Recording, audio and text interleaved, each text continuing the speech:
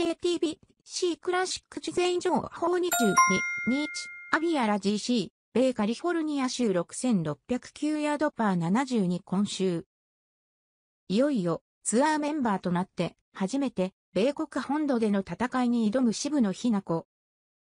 ここまでにアジアで2戦を繰り広げているが、クラブセッティングは昨年から大きな変更はなかった。唯一変化を加えたのは3番ウッド。ヘッドはこれまでと変わらず、ピン G425MAX の14。5度だがシャフトに手を加えた。43。5インチと若干長くしたのである。この糸を渋谷は飛距離アップのためと明かす。パー5でのバーディ率を上げたくて。少しでも前にあれば確率も上がると思っています。磨いた100ヤード以内の精度をさらに活かすための調整と言える。今大会のパー5はすべて500ヤード超えで、特に打ち上げの5番ホールと572ヤードもある17番ホールでは出番がありそうだ。米ツアーで活躍するために、微調整を施しながら戦っている。渋野日向子のクラブセッティング 1W、ピン G410 プラス9度、富士クラスピーダー NX50S3W、ピン G425MAX14。5度、富士クラスピーダー NX60S7W、ピン G425MAX20。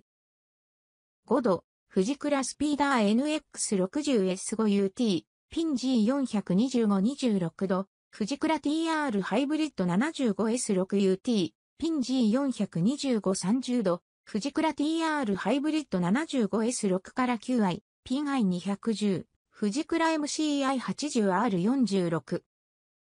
52、54、58度、ピングライド3。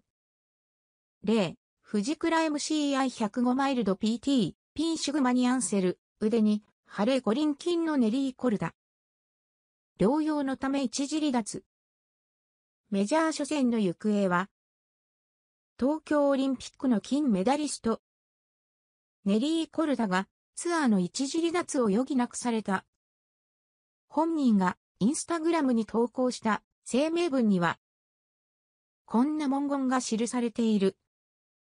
11日に写真撮影やコマーシャル撮りのため、フロリダを訪れました。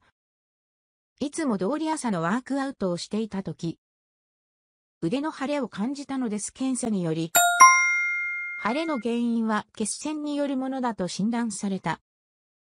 まだ23歳。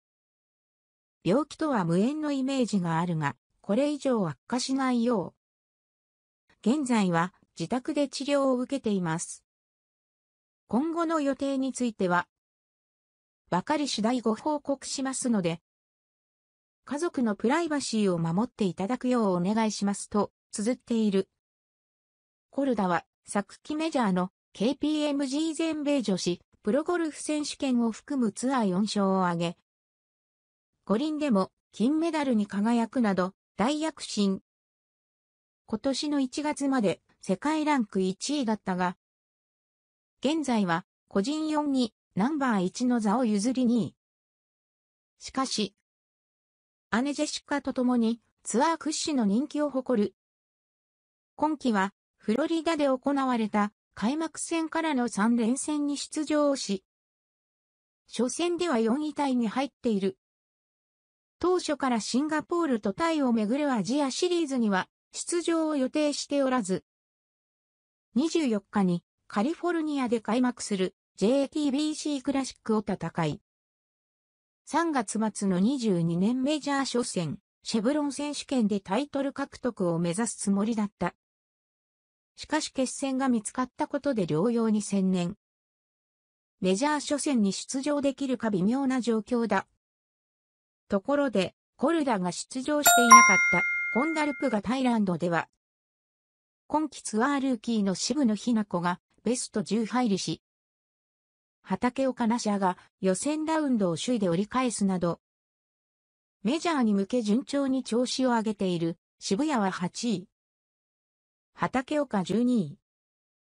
果たしてコルダは出場するか否か。日本勢の活躍は、間近に迫ったメジャーに注目だ。